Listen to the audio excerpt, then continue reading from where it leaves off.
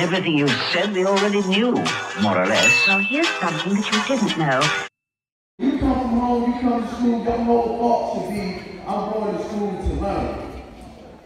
And when you come to school to learn, you don't come with an attitude.